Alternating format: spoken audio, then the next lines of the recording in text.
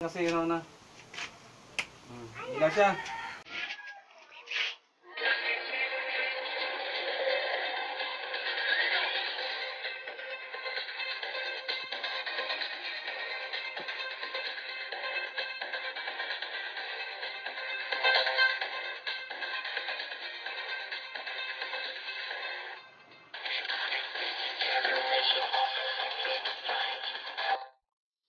Yes, hello, hello mga ka-electric. Welcome to my channel.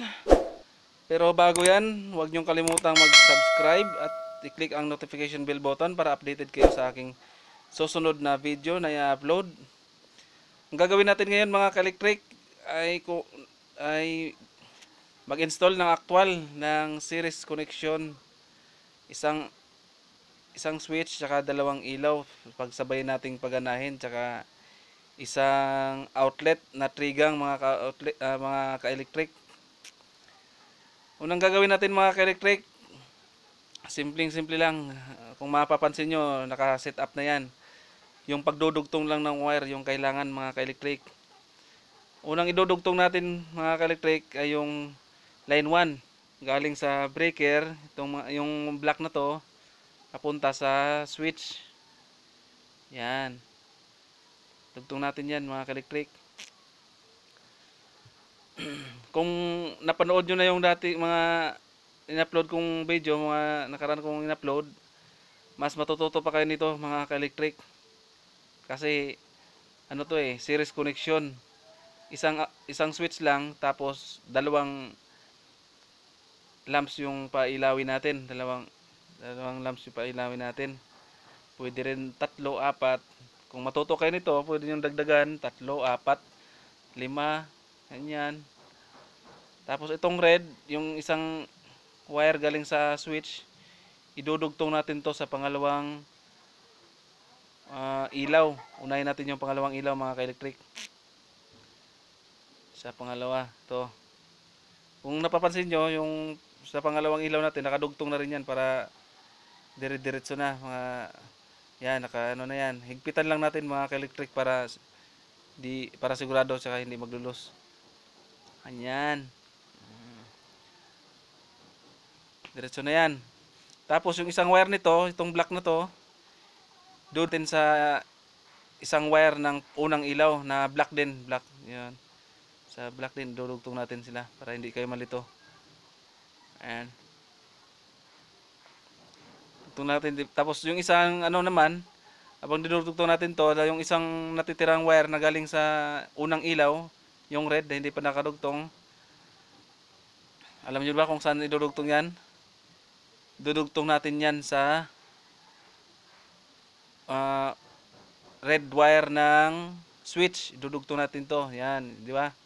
Yan, isang wire na to. Dudugtong natin yan sa baba, sa papunta sa switch. Ganyan. Naka-electric. Dugtong na natin. Bali, tatlo na silang lahat. Unang ilaw, tapos pangalawang ilaw, tapos papunta sa switch. Yan. Diyan lang mga ka-electric. Yung hindi pa nadugtong dyan, yung line to na lang. Kung saan dugtong natin yan, yan. Idudugtong natin yung ano, line 2. Di ba? Diretso na yan sa il- ilaw, unang ilaw tsaka dalawang ilaw. To. Na-check na. Check na natin. Diretso, yung connection yan, takbo ng kuryente yan. Tapos itong line 2, dudugtong natin to sa black, mga ka-electric sa tig-isang tig-isang wire galing sa ilaw, itong black na to. Ayan. Di ba yung red kanina, dinugtong natin sa papunta sa switch? Itong black na to na natitira, tig-isa galing sa ilaw, dudugtong natin to sa line 2. Yan. Galing sa breaker. Yan yung ano niyan. Connection. Connection. Ganyan lang. Ah, double check daw. Siwa-hiwalay mo mabuti kung ito na yung ano. Kung sure ka na mga ka-electric. Ganyan lang mga ka-electric sa series. Yung pagkaka-wiring yan. Tapos lalagay tayo ng ano yan. Maglalagay tayo ng trigang na outlet kung saan natin ilalagay. Dugtungan natin. Di ba? Nasundan nyo ba? Itong ano, yung galing sa, yung red wire, galing sa ano, switch, tapos papunta sa ilaw, tig-isa. Ganyan lang. Tapos yung black, na tig-isa, dugtong mo yan, dugtong, tapos diretso mo sa line 2. Galing sa breaker. Yan, ganyan lang mga electric. Yung takbo ng kuryente niyan, saktong-sakto na. Ah, perfect na yan mga electric. Kung gusto niyo matuto talaga, ulit-ulitin niyo yung panonood mga electric. Tapos yung iba po pang video para masundan nyo. Ngayon, ang kulang na lang, kung tutusin pwede na natin testing to eh. Pero isabay na natin yung trigang na outlet mga ka-electric na ito na ito ginawa ko. Ganyan. Lagyan ko na ng trigang. Tatlong ano, tatlong saksakan ng outlet. May dalawang wire din galing sa kanya. Ayan. Ang unahin natin yan idudugtong mga ka-electric, unahin natin yan yung ano, yung red wire na pangpuntang papuntang line papuntang line 2. Yan.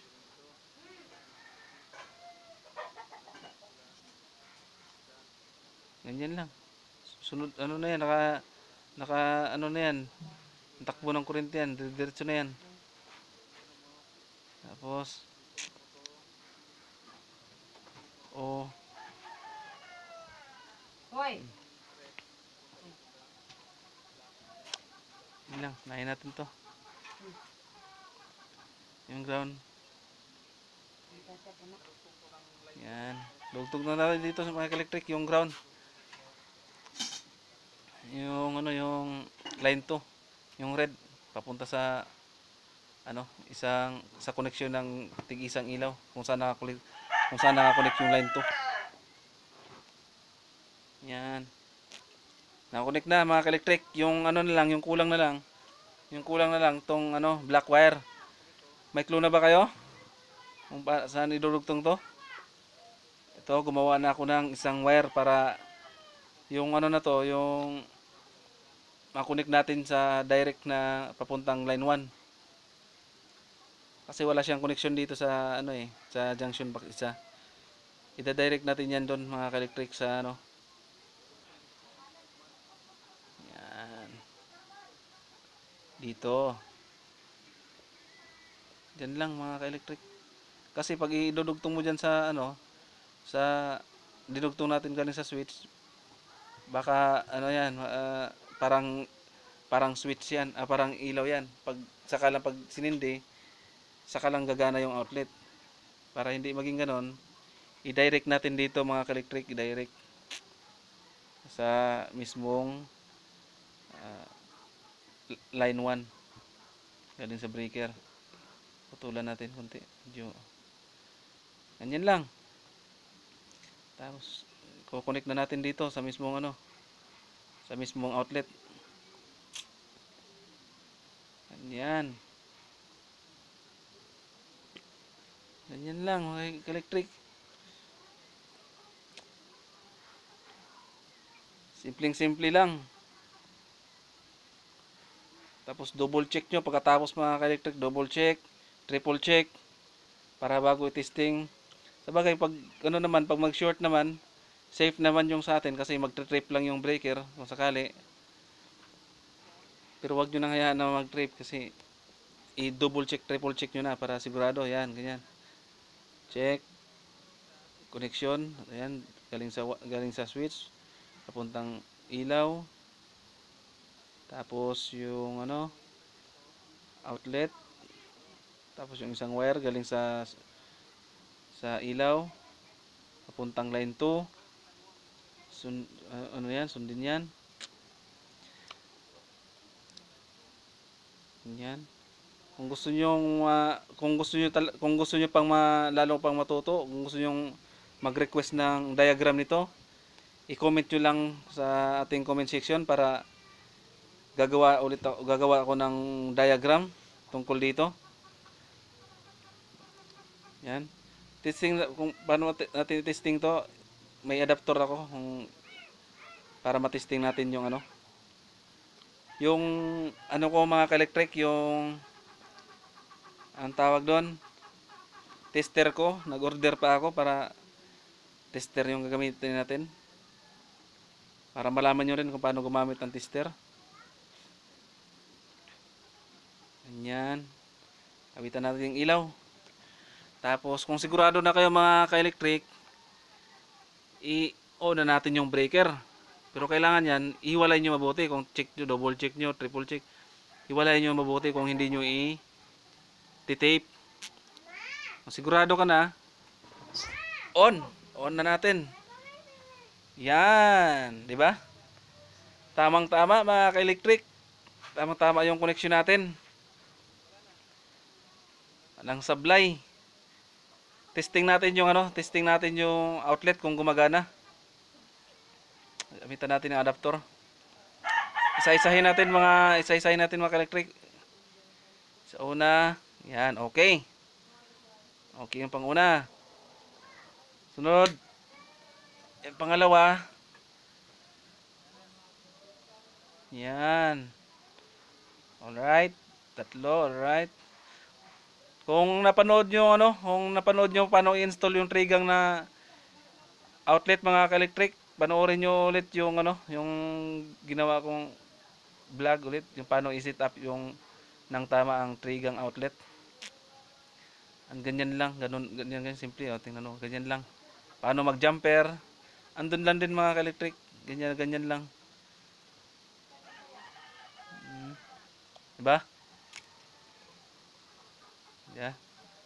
Alright, may natutunan kayo mga ka-electric. Sana naintindihan nyo. Simpleng-simple lang, di ba? Pwede na kayo mag-wiring kung maintindihan na kayo ma- na nakuha nyo yung ano, kung paano talaga. Huwag nyong kalimutang mag-subscribe, tsaka i-hit yung notification bell button. Mga ka-electric, salamat sa panonood. Thank you.